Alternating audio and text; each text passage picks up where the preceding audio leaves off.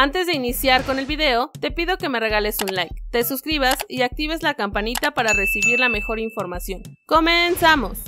Posibles alineaciones Rayados versus Santos para la vuelta de cuartos de final de la Liga MX. El fin de semana llegó y las vueltas de los cuartos de final de la Liga MX se jugarán y se sabe que los lectores querrán saber todo sobre las posibles alineaciones Rayados versus Santos. Aquí está la información. Posibles alineaciones Rayados versus Santos. De los juegos del día miércoles sin lugar a dudas fue el que decepcionó por completo y las críticas fueron abrumadoras en contra de lo exhibido por Monterrey. Evidentemente su afición no aceptará una partida de vuelta como la hecha en el TSM, por lo que no se va a esperar menos del equipo superlíder. Alineación de Rayados. El planteamiento que se hace es, de que sirve tener la mejor plantilla, ser superlíder y no jugar como tal. La afición no merece menos que un equipo que gane siempre y más en estos momentos críticos de partidos eliminatorios. Por más que se haya jugado en casa de Santos, la presentación de Monterrey fue mediana. Entonces en él, gigante de acero, no hay de otra más que salir a comerse a un equipo que ni calificó entre los primeros 12. Posible 11, el DT Víctor Bucetich, Esteban Andrada, Héctor Moreno, Víctor Guzmán, Jesús Gallardo y Estefan Medina, Celso Ortiz, Luis Romo, Maxi Mesa y Alfonso González,